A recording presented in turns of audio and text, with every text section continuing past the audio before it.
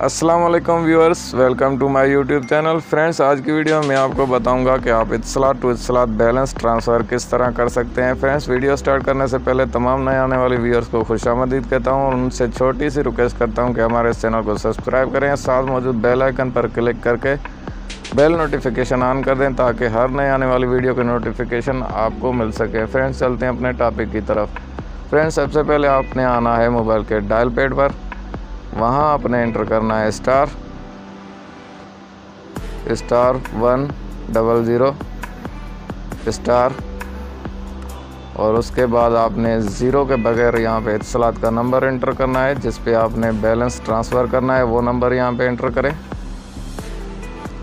उस नंबर के इंटर होने के बाद आपने स्टार डायल करना है। स्टार डायल करने के बाद आपने अमाउंट लिखना है, कितना अमाउंट आप सेंड करना चाहते हैं उस नंबर पर।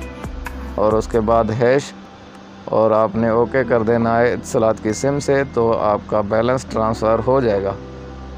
फ्रेंड्स, आज की वीडियो यहाँ पर अख्ताम पजीर होती है। मिलते हैं नेक्स्ट वीडियो में, तब तक के लिए हाफिज़।